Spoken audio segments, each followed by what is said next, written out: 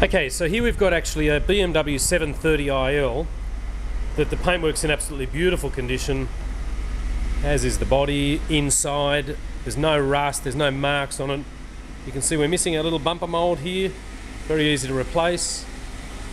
No cracks in the headlights.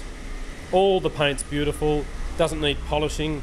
A Couple of scuffs on the wheels. The leather inside's very, very good. Nice and soft and plush. All the wood grain and the carpets are in excellent condition. It does have a factory sunroof. And even in the back, it's absolutely enormous in the back. Carpets are all original. The leather's very, very good. Sydney car. Front and rear bonnet struts are about to be done. And it does have the 4 litre motor that has been put in. Beautiful car at a very, very sensible price.